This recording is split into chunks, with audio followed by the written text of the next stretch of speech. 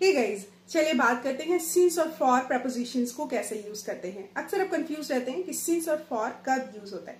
Since को use करते हैं जब आपको पॉइंट ऑफ़ टाइम डिफाइन करना होता है। जैसे कि कोई भी पॉइंट ऑफ़ टाइम है, मैंने कहा कि I been learning English since morning since morning morning is a point of time right और इसी तरह जैसे लास्ट वीक है मंडे है लास्ट मंडे लास्ट डे या फिर लास्ट जनवरी या 2021 या फिर चाइल्डहुड ये सारे पॉइंट्स ऑफ़ टाइम है। इनके साथ बेझिझक आप सिंस का यूज़ कर सकते हैं।